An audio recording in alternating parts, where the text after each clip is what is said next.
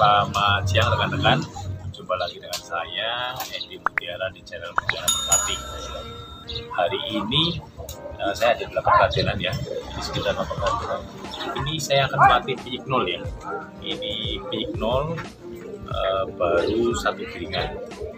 Nah, ini ada tiga pijik anak predator, terus anak Braja Musti, dan anaknya Master Pot.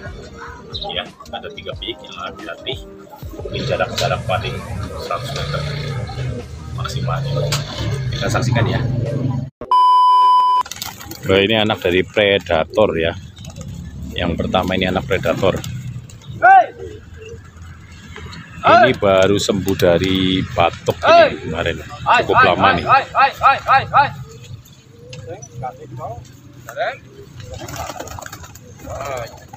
Ya,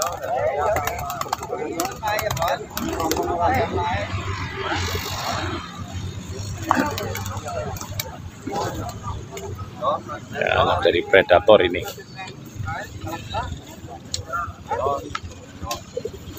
Harusnya kalau ngelatih fisik nol gini harusnya baiknya di sore hari kalau menurut Mutiara ya.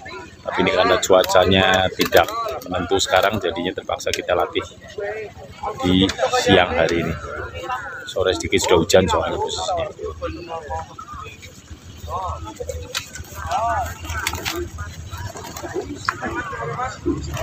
Ini biasanya kita ulang 3 sampai 4 kali big nol karena dia big nol ya.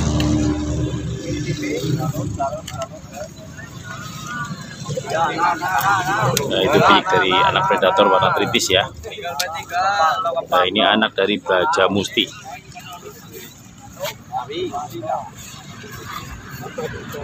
Awal dari jarak 1-2 meter.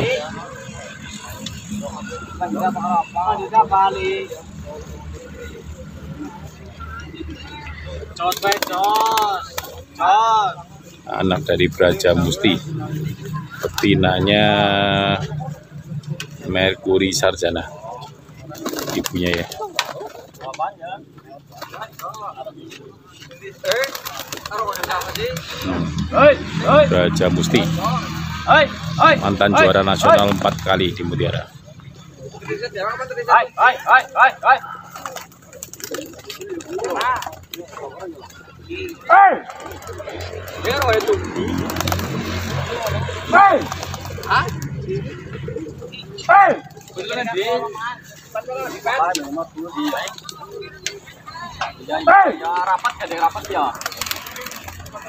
Oh, banyak yang latih ini jadi agak repot ya.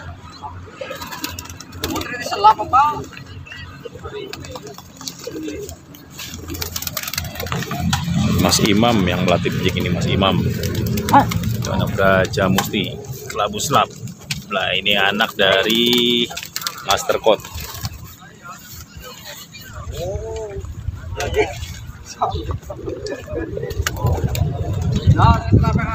Anak dari Master Code.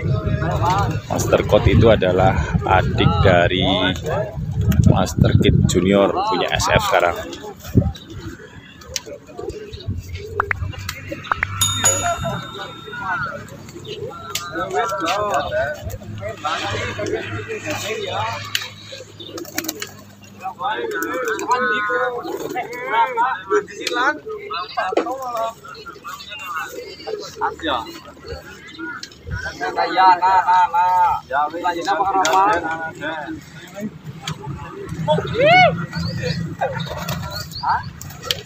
Master Code ya ini ya. Nah, itu.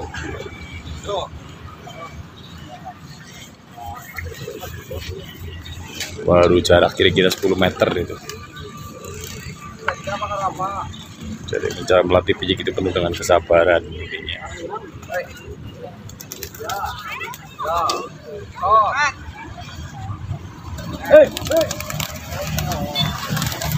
Ya itu tiga pijik yang masih nol ya.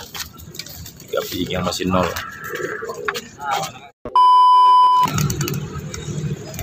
Ini anak dari predator ya.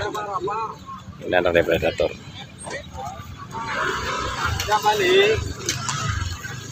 Ini harusnya kalau ngelatih yang bener ini masuk ke dalam ya. Cuma ini karena nggak ada jalannya. jalannya baru jadi kita terpaksa dari jalan ini anak dari Raja Musti taraf masih belajar semuanya ini.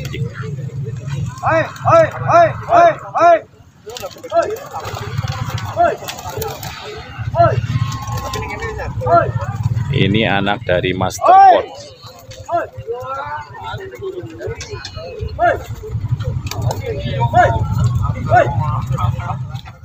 Nah ini anak dari Predator ya. Ini anak dari Predator. Ini yang kedua anak dari Braja Musti baru pertama kali keluar nih dua-duanya Predator habis sakit.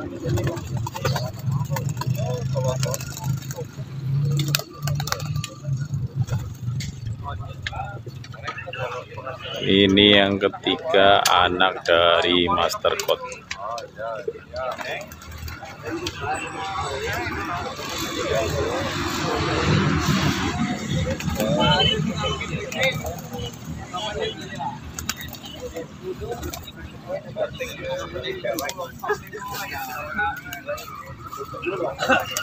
ini suasana keratenan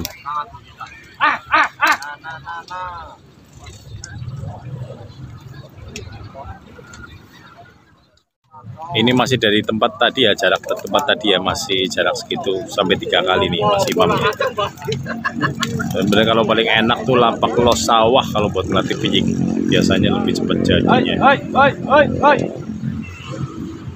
karena di keratenan cuma 200 meter ini ya, losnya ya kira-kira.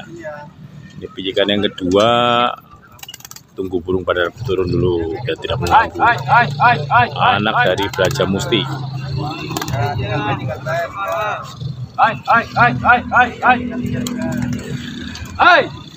Ini jaraknya cuma 200 meter itu losnya. Pas rumah itu. Yang ketiga ini anak dari Master Code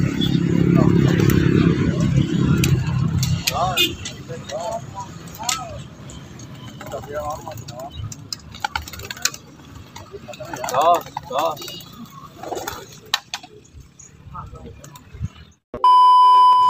udah dimundurkan ini kira-kira jarak 100 meter ya. Ini terbang pertama ini biasa. Masih gitu tuh Mas Yoto di tengah-tengah tuh tengah-tengah sawah. Kira-kira jarak 100 meter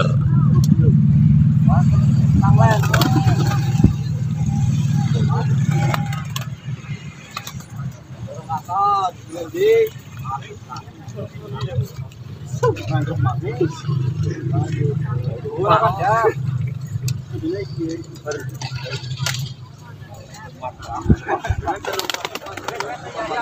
ini anak Master Code ya ini anak Master Code.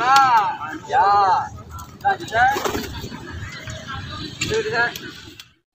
Nah ini masih diulang ya yang kedua kalinya jarak 100 meter nih. Soalnya pijik baru kelapak ini. Ya itu anak predator tadi barusan tritis yang kakaknya Megan sudah jadi di Bandung. Cimahi. Nah ini yang kedua anak dari Braja Musti. Nah itu kita nunggu burung datang. Nah ini anak dari Braja Musti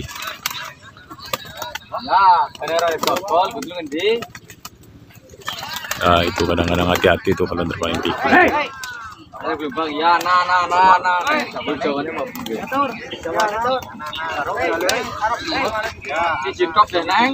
Harus lihat-lihat dulu kalau terbang pijik ya,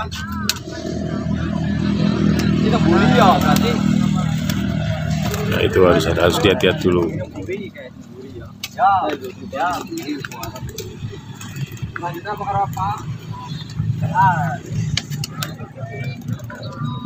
Ini yang ketiga anak dari Master Code Hai, hai, hai, hai, hai, hai. Hai. Hai.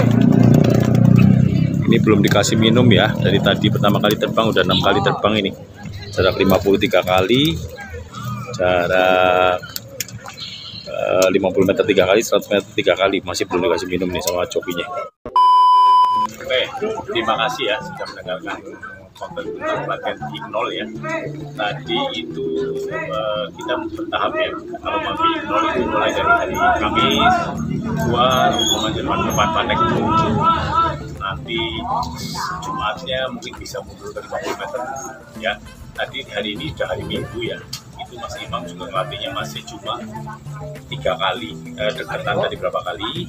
Empat patek satu meter berapa kali? Mundur ke kira-kira 10 meter berapa kali? 50 meternya cuma tiga kali dan 100 meternya juga cuma tiga kali. Ya nanti bertahap untuk giringan kedua mungkin bisa lebih jauh lagi. Mungkin sampai 200 sampai 300 meter. Tergantung dari lapang yang buat pelatih ya. Mudah-mudahan ini bermanfaat bagi teman-teman semuanya. Terima kasih sudah menonton konten ini. Semoga konten ini bermanfaat. Untuk menambah ilmu menambah teman-teman cara melatih fisik dan sebagainya. Oke terima kasih. Biar pelatih yes